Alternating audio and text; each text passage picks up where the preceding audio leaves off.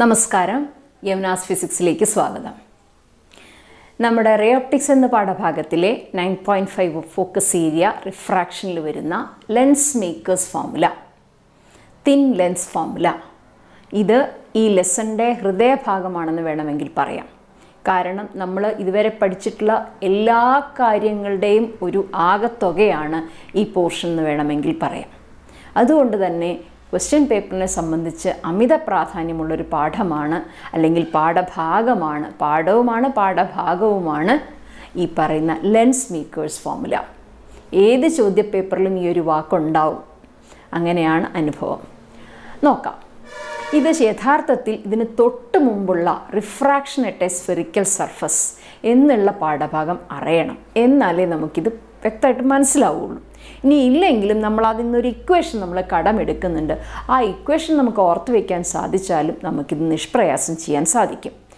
അതിന്റെ ലിങ്ക് ഞാൻ ആ ഡിസ്ക്രിപ്ഷൻ ബോക്സിൽ ഇടുന്നുണ്ട്. നിങ്ങൾക്ക് സമയമുണ്ടെങ്കിൽ പരീക്ഷ അടുത്തു എന്ന് എനിക്കും അറിയാം ഉണ്ടെങ്കിൽ അതൊന്ന് കണ്ടതിന് ശേഷം ഇത് കണ്ടാൽ നന്നായിരിക്കും. ഇല്ലെങ്കിലും നിങ്ങൾ ആ ഇക്വേഷൻ ഓർത്തു വയ്ക്കാൻ സാധിച്ചാൽ നമുക്ക് നിഷ്പ്രയാസം പഠിക്കാം. അപ്പോൾ ലെൻസ് മേക്കേഴ്സ് ഫോർമുല ഫോർമുല എന്ന് കണ്ട് ഭീതിപ്പെടേണ്ട യാതൊരു കാര്യവുമില്ല.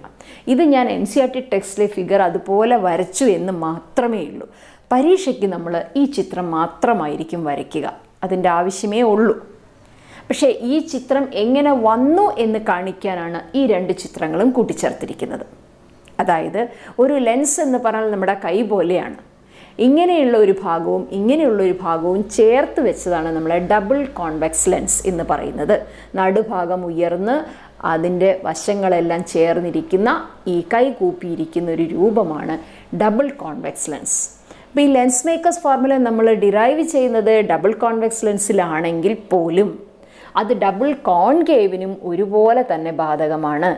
ഏത് ലെൻസിനും ഇത് ഒരുപോലെ ബാധകമാണ്. ഈക്വേഷൻ എല്ലാവർക്കും ആപ്ലിക്കബിൾ ആണ്. കോൺകേവ് ആയാലും കോൺവെക്സ് ആയാലും. ഓക്കെ പക്ഷേ നമ്മൾ ചെയ്യുന്നത് ഒരു എക്സാമ്പിൾ ചെയ്യുന്നത് കോൺവെക്സിനാണെന്ന് മാത്രം. അപ്പോൾ ഇങ്ങനെ കാണുമ്പോൾ തന്നെ എന്ത് മനസ്സിലാക്കണം? ഇതൊരു സ്ഫിയറിന്റെ ഭാഗമാണ്. ഇത് വേറൊരു സ്ഫിയറിന്റെ ഭാഗമാണ്. അതിന്റെ ഓരോ പോർഷൻ നമ്മൾ പറഞ്ഞിരുന്നു. ബോൾ ഐസ്ക്രീമിന്റെ ക്യാപ്പ് എടുത്ത് ചേർത്ത് വെച്ചതാണെന്ന് നമ്മൾ പറഞ്ഞിരുന്നു. അതേ കാര്യമാണ്. ആ ചിത്രം നോക്കുമ്പോൾ തന്നെ അത് മനസ്സിലാവും. പറയേണ്ട കാര്യമില്ല. എല്ലാം ബോർഡിൽ ക്ലിയറായിട്ട് എഴുതിയിട്ടുണ്ട്. അപ്പോൾ ഈ ഡബിൾ കോൺവെക്സ് ലെൻസിന്റെ ഫസ്റ്റ് പോർഷനാണ് ഈ കാണിച്ചിരിക്കുന്നത്. സെക്കൻഡ് പോർഷനാണ് ഈ കാണിച്ചിരിക്കുന്നത്. ആദ്യം ലൈറ്റ് കയറി വരുമ്പോൾ ഫസ്റ്റ് ഫേസിലേക്ക് വീഴുന്നു. ഫസ്റ്റ് ഫേസ് ഏതാണ്? എ ബി സി എന്നടയാളപ്പെടുത്തിയിരിക്കുന്നത് അവിടെ വെച്ച് ആദ്യം അത് ഒടിയും. ഒടിയും എന്ന് പറഞ്ഞാൽ ബെൻഡ് റിഫ്രാക്ഷൻ ബെൻഡ് എന്നുള്ള വാക്കാണ് നമുക്കറിയാം. വേഗ വ്യത്യാസം വരും. കാരണം ഇവിടെ എയർ ആണ്. എയറിൽ നിന്ന് ഗ്ലാസ്സിലേക്ക് വരുമ്പോൾ അതിന്റെ വേഗത കുറയും. നമുക്കറിയാം എയറിലാണ് ഏറ്റവും കൂടുതൽ വേഗത.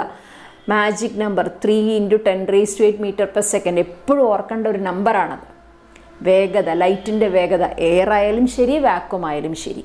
അപ്പോൾ അതാണ് പരമാവധി ലൈറ്റിന്റെ വേഗത. ബാക്കി ഏത് മീഡിയത്തിൽ വരുമ്പോഴും അതിന്റെ വേഗത കുറയും. അതിനനുസരിച്ച് അത് ബെൻഡ് ചെയ്യാൻ തുടങ്ങും. അപ്പോൾ ഒന്നാമത്തെ ബെൻഡിങ് ദ ഇവിടെ വെച്ച് നടന്നു. അത് കഴിഞ്ഞ് ആ മീഡിയത്തിൽ കൂടെ തന്നെ ഗ്ലാസ്സിൽ കൂടെ തന്നെ ദാ ഇത്രയും ദൂരം ഗ്ലാസ്സിൽ കൂടെ തന്നു. ഇത് ഇവിടുത്തെ നോർമൽ എൻ വൺ ഒടിയുന്ന സ്ഥലം. ഇത് ഇവിടുത്തെ നോർമൽ എൻ ടു ഒടിയുന്ന സ്ഥലം. ഈ രണ്ട് സ്ഥലത്തും വെച്ചിട്ടാണ് അത് ഒടിയുക കാരണം സർഫസ് ഓഫ് സെപ്പറേഷനിലാണ് ബെൻഡിങ് ഉണ്ടാവുക. മനസ്സിലായല്ലോ? അപ്പോൾ ആദ്യ ബെൻഡിങ് ഇവിടെ എൻ വണ്ണിൽ സംഭവിക്കും. രണ്ടാമത്തെ ബെൻഡിങ് സംഭവിക്കുന്നത് എൻ ടുവിലാണ് അപ്പോൾ നോക്കൂ ആദ്യത്തെ ഒടിവാണ് ഈ മജന്ത ലൈൻ കാണിച്ചിരിക്കുന്നത്.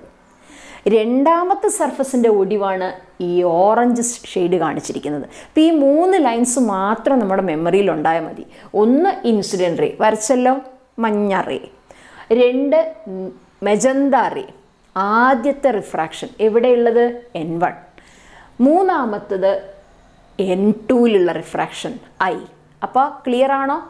O I dash I clear വേറെ ഒന്നും ചെയ്യാനില്ല. അത്ര മാത്രമേ വരയ്ക്കാനുള്ളൂ.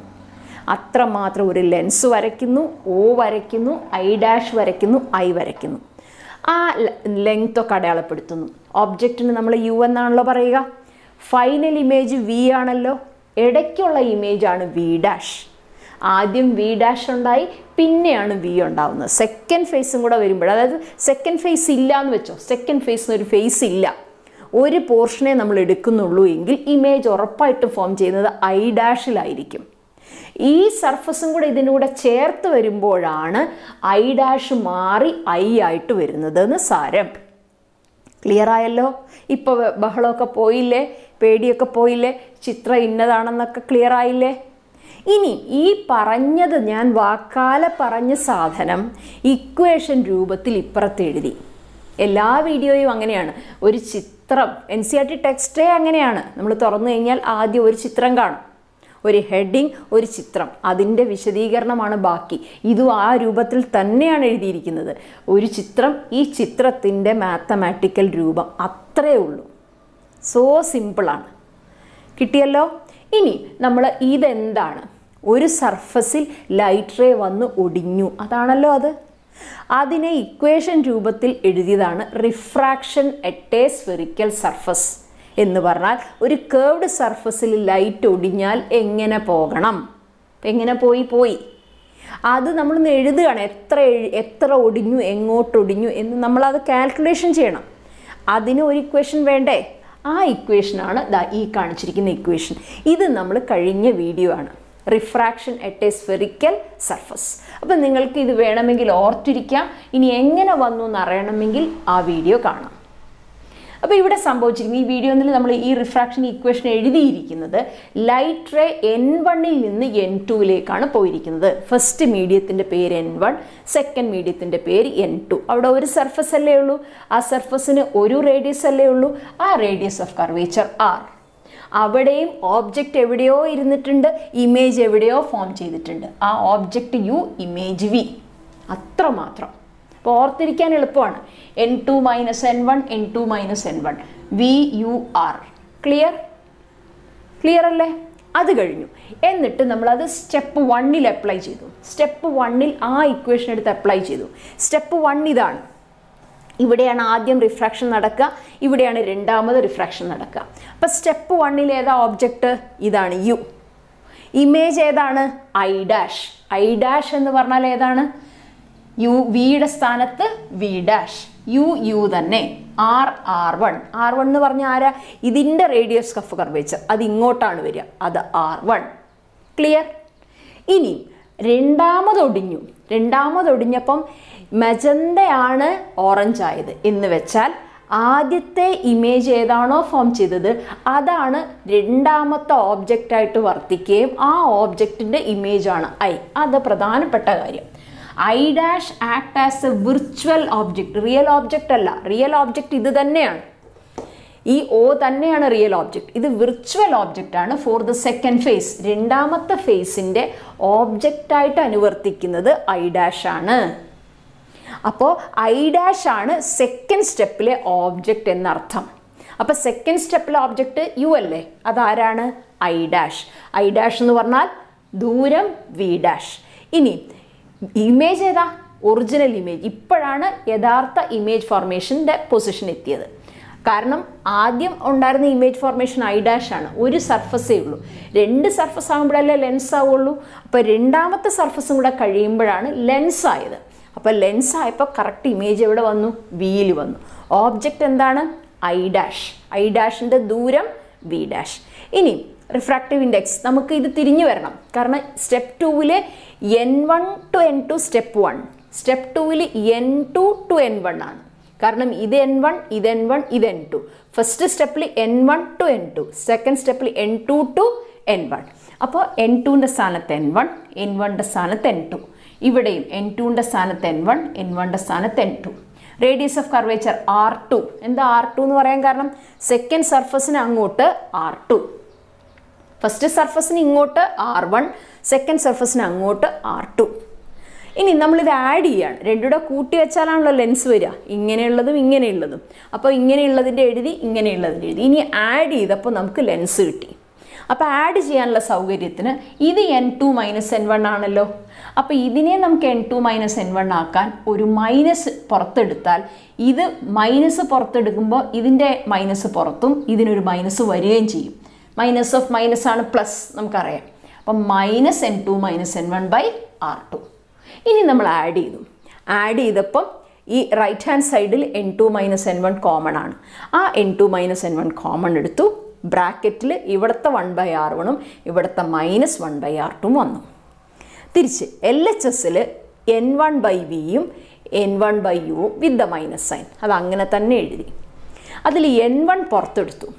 എൻ വൺ പുറത്തെടുത്തപ്പോൾ എന്ത് വന്നു one by v minus one by u equal to n two minus n one by n one എന്ന് വരും ആ ബൈ എൻ വൺ ആണ് ഞാൻ എഴുതിയിരിക്കുന്നത് ഓരോരുത്തരെ എൻ വൺ കൊണ്ട് ഹരിച്ചു n two by n one minus n one by n one n one by n one എന്ത് വരും one n two by n വണ്ണിന് എന്താ പറയുക എത്രയോ തവണ പറഞ്ഞു n two one n two with respect to n one എന്ന് വെച്ചാൽ refractive index of glass with respect to air എന്നർത്ഥം n two by n one എന്ന് പറഞ്ഞാൽ എൻ ടുവിന്റെ റിഫ്രാക്റ്റീവ് ഇൻഡെക്സ് എൻ ടു എന്ന് പറഞ്ഞാൽ എന്താ? Second medium with respect to first medium അപ്പോൾ നമ്മൾ കമ്പയർ ചെയ്യാണ്. ഗ്ലാസിന്റെ റിഫ്രാക്റ്റീവ് ഇൻഡെക്സും എയറിന്റെ റിഫ്രാക്റ്റീവ് ഇൻഡെക്സും തമ്മിലുള്ള ബന്ധം. അതെത്രയാ? ഗ്ലാസിന്റെ one point five divided by എയറിന്റെ one so what is this answer really glass ആണെങ്കിൽ അതിന്റെ ഉത്തരം എത്രയാ? One point five by one that is one point five okay minus one വരും. അപ്പോൾ point five into one by r one minus one by r two ഇനി ഇത് നമ്മൾ image ഫോർമേഷനിൽ വിശദമായി പറഞ്ഞിട്ടുണ്ട്. എന്താണ്? ഇൻഫിനിറ്റിയിലാണ് ഓബ്ജക്റ്റ് ഇരിക്കുന്നത് എങ്കിൽ ഫോക്കസ് എന്ന് പറയുന്നതായിരിക്കും image position focus principal focus അപ്പോൾ ഓ ഡാഷ് മുതൽ പ്രിൻസിപ്പൽ ഫോക്കസ് വരെയുള്ളതിന് നമ്മൾ പറയുന്ന പേര് ഫോക്കൽ ലെങ്ത് എന്നാണ്. അപ്പോൾ ഈ ഇക്വേഷനിൽ യു ഇൻഫിനിറ്റി എന്ന് കൊടുത്തു നോക്കുക. One by infinity zero. One by വിയുടെ സ്ഥാനത്ത് എന്ത് വരും? എഫ് എന്ന് വരും. അപ്പോൾ ഈ എൽ എച്ച് എസ് എങ്ങനെ വരും? One by f is equal to n two by n one minus one into one by r one minus one by r two ഇതാണ് നമ്മുടെ ലെൻസ് മേക്കേഴ്സ് ഫോർമുല എന്താ അങ്ങനെ പറയാൻ കാര്യം? ലെൻസ് ഉണ്ടാക്കുന്നവർക്ക് അത് അറിഞ്ഞാൽ മതി. നമുക്കിപ്പോൾ ലാബിൽ ഇത്ര ഫോക്കൽ ലെങ്ത് ഉള്ള ഒരു ലെൻസ് നമ്മൾ എടുക്കുന്നുണ്ട്. പത്ത് പതിനഞ്ച് ഇരുപത്. എങ്ങനെയാണത് ഉണ്ടാക്കിയത്? ഒന്നുമില്ല. രണ്ട് സ്വിയേഴ്സ് കൂട്ടിയിട്ടതല്ലേ? ആ രണ്ട് സ്വിയേഴ്സിന്റെ റേഡിയസ് അറിയാം. ആർ വണ്ണും ആർ ടു അറിയാം എന്ന് വെച്ചോ?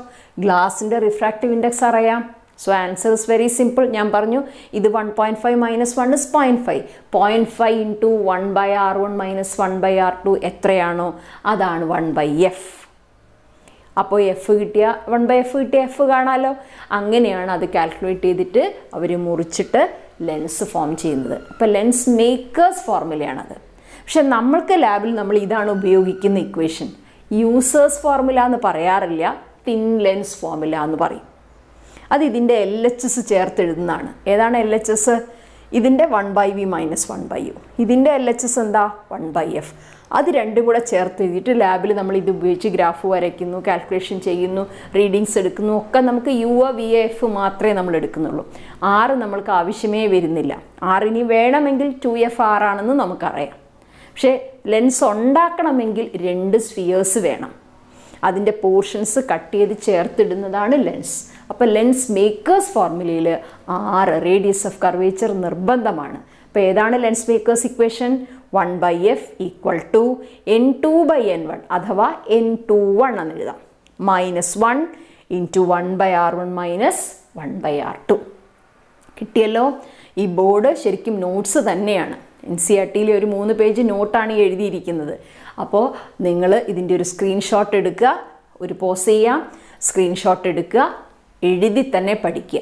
പരീക്ഷയ്ക്ക് നമുക്ക് ഈ ഒരു ടോപ്പിക്ക് മതി ഒരു ഫിഗർ മതി ആ മൂന്ന് ഇക്വേഷനും ധാരാളം. ക്ലിയർ ആണെന്ന് വിചാരിക്കുന്നു. താങ്ക്